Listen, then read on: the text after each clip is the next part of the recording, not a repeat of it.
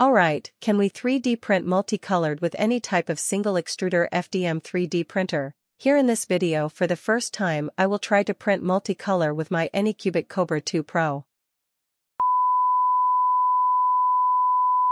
Welcome to 3D Print and Paint Studio, where creativity meets technology. Discover the magic of 3D printing and bring your favorite characters to life. From stunning glow-in-the-dark designs to intricately painted masterpieces, every print tells a story.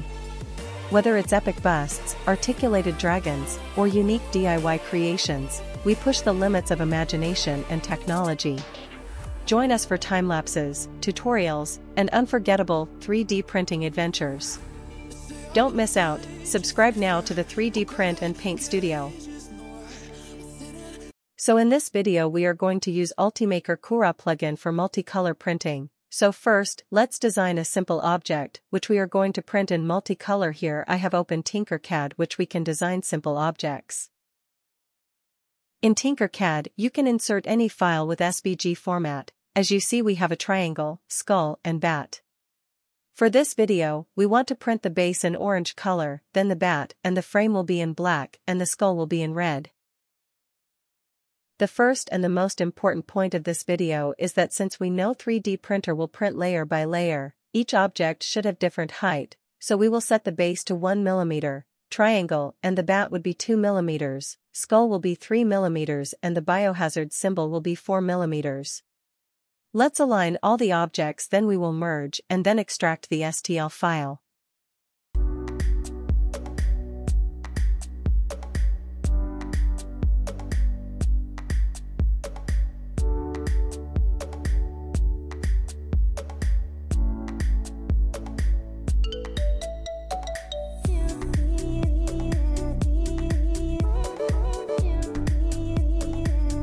Let's import the extracted design in Ultimaker Cura. First let's slice how many layers we have and from which layer different objects will start to be built layer by layer. Here for this design, we have 39 layers. Then as we see layer 0 till 7 will be our base, we are going to use orange filament. Layer 7 till 21 will be the triangle the bat in black. Layer 21 to 30 will be the skull and the triangle frame in red filament and the last part will be layer 30 till 39 biohazard symbol in white.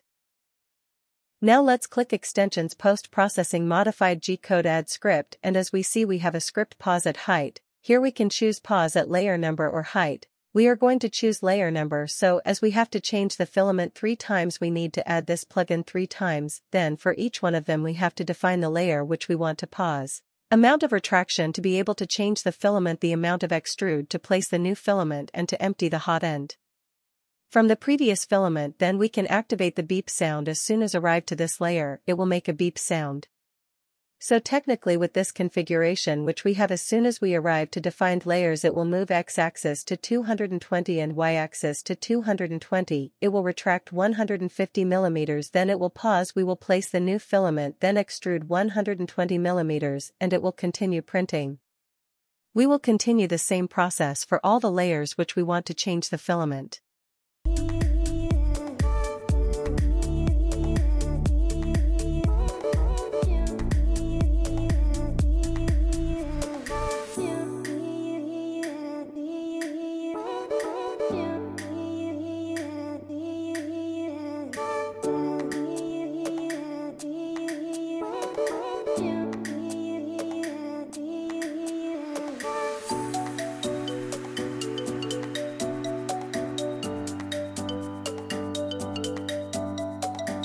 Let's slice and start printing.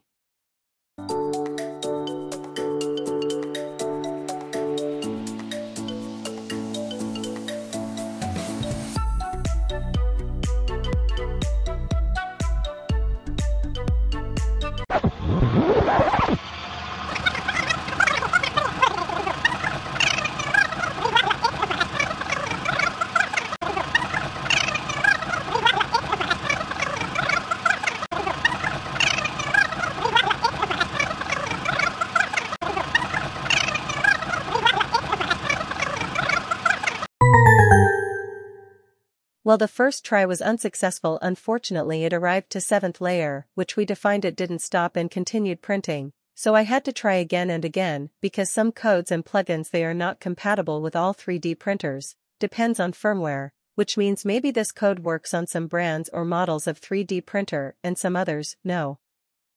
After a lot of tries I found the compatible plugin configuration for my 3D printer, it stops as I have defined 30 seconds with retraction of 200 mm, then I place the new filament extrudes 160 mm and waits 30 seconds again before continuing the print. Congratulations here is the final result, if you have any question let me know in the comment.